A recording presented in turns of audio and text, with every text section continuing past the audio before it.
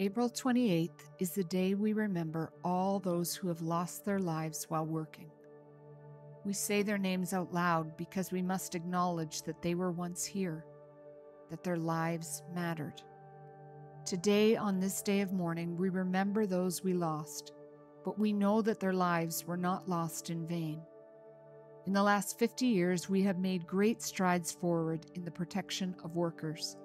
These laws, along with the tireless advocacy of prevention and education organizations, the passion of health and safety workers and unions, have made Canada a much safer place to live and work. This does not mean, however, that we slow down in our efforts to make workplaces safer and healthier.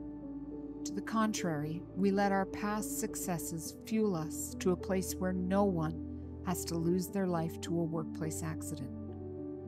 The unfortunate truth is that while we have made progress, we still have a long road to travel. Even today, on this day of mourning, we know that people will be killed at their workplace.